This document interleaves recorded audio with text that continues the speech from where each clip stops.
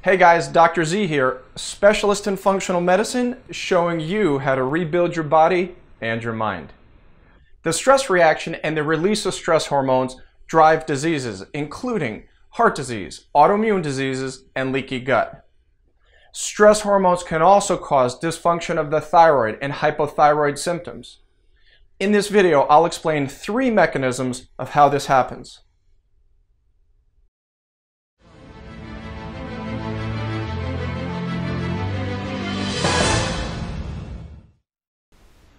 Chronic and unmanaged stress sets off toxic chemical reactions in the body, which can ignite and promote the formation of disease. When the stress reaction in the body is elevated for prolonged periods of time, it can suppress the immune system, cause disease, and disrupt thyroid function. Let me explain how this happens.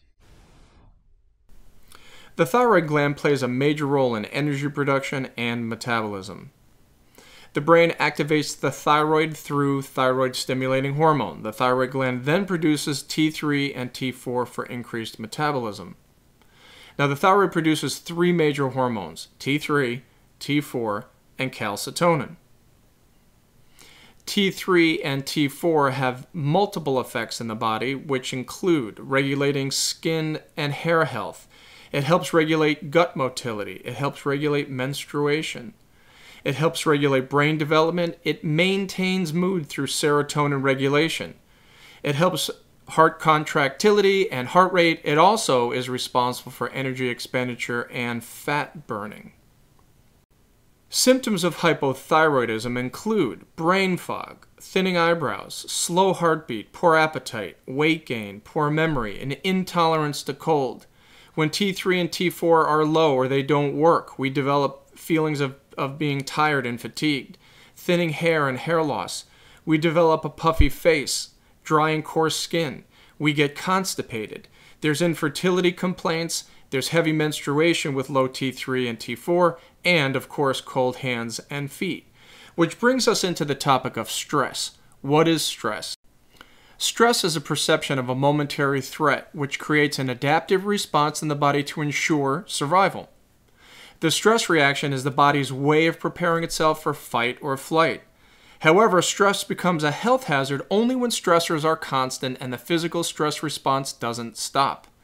Now, here's how it works. Under times of stress, the brain activates the adrenal glands to secrete cortisol and adrenaline.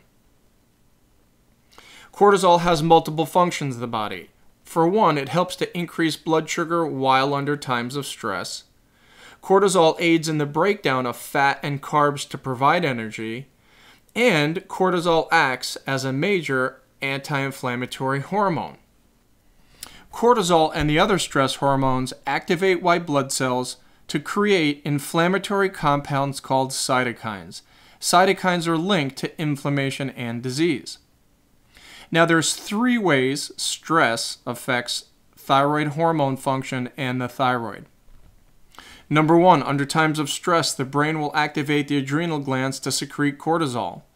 Cortisol will reduce the production of TSH and the production of T4 and T3. Cortisol will also block the conversion of T4 to T3, creating hypothyroid symptoms on a cellular level. Number two, the stress hormones cortisol, adrenaline, and norepinephrine activate white blood cells to create inflammatory chemical messengers, cytokines, these cytokines will decrease the production of TSH and prevent the conversion of T4 to T3. Number three, nutrient deficiencies are caused by cortisol and stress. Cortisol will block the mineral absorption of iodine, zinc, and selenium. The thyroid needs iodine in order to create T4 and T3. Now, T4 is converted into T3 through specific enzymes. That, those enzymes are zinc and selenium dependent. Once T3 is converted from T4, it then acts upon cells and tissues to increase cell function and metabolism. And last, stress causes thyroid hormone resistance, and this is what that means.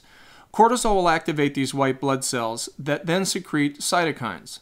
Specifically, IL 6 will block the ability for T3 to interact with receptors on cells and tissues.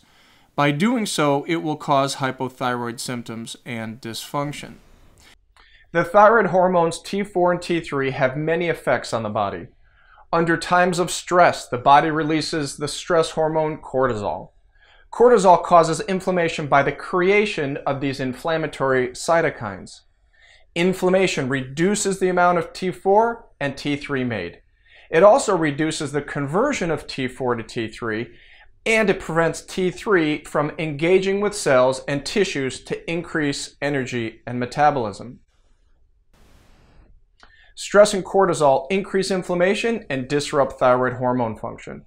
High cortisol is caused by emotional stressors, nutrient deficiencies, and not eating enough calories to match your metabolism. If you take thyroid medications and they haven't resolved your symptoms, or you have hypothyroid symptoms, although your blood work says your thyroid is fine, there's a good chance your symptoms are caused by elevated stress hormones. To rebuild your thyroid and thyroid hormone function, Get your cortisol levels measured and work with a specialist in functional medicine to help you navigate through these hormone issues to get them resolved. I hope this helps to rebuild your body and your mind. We'll see you next time.